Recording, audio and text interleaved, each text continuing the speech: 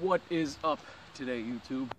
So today we are taking on a challenge that it's a trick I should have learned a long time ago, not as a 23 year old man, but I didn't.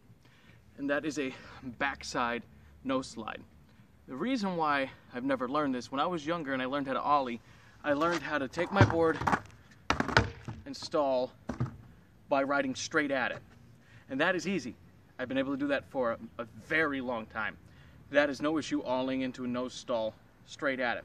But coming from 90 degrees into it, I've had issues over the years for a lot.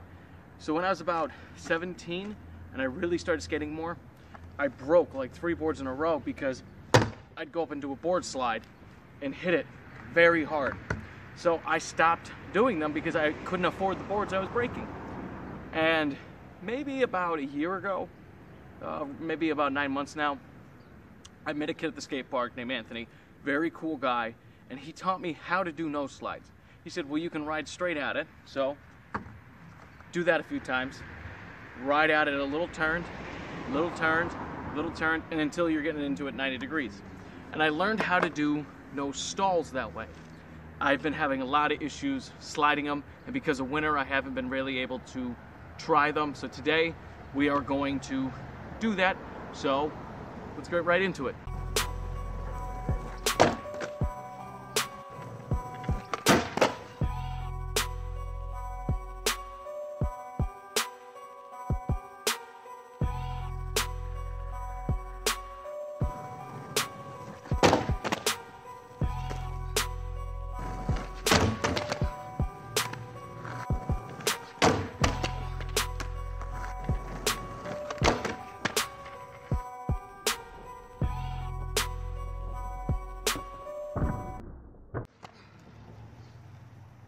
I did not get it as clean as I wanted to YouTube, but because of going up into board slides so many times and having so many other issues, my knees are really hurting right now.